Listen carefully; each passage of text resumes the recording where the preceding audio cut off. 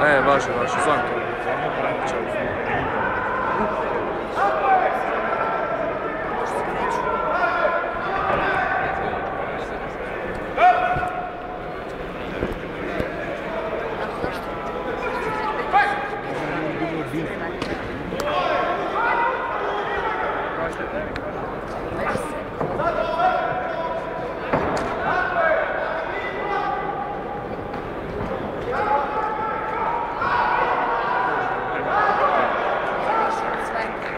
brownie.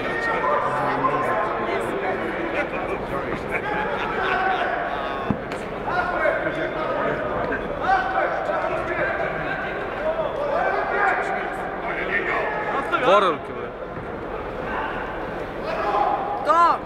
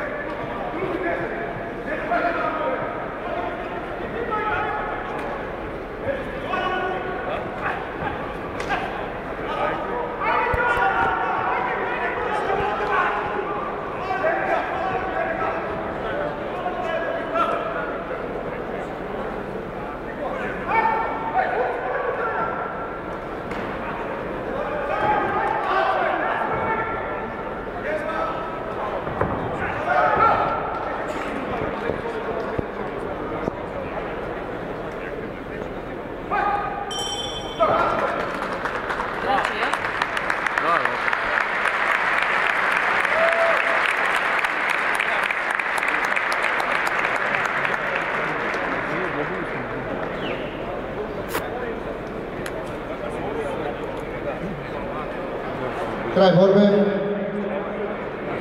Za sljedeći meč neka se pripreme kategorija također 75 kg crveni ugao Nikola Petrović Čakuliki, plavi ugao Bojan Radović Crvena zvezda Delije.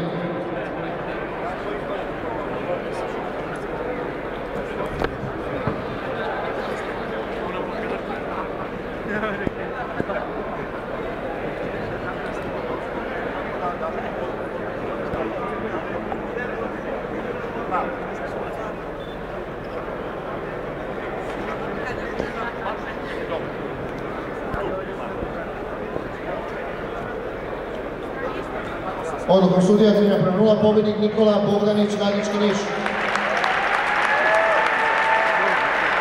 Bravo, Nikola, bravo. Sljedeći meč crveni ugao Nikola Petrović Čakuliki, plavi ugao Bojan Radović Crvena zvezda Delije, 75 kg.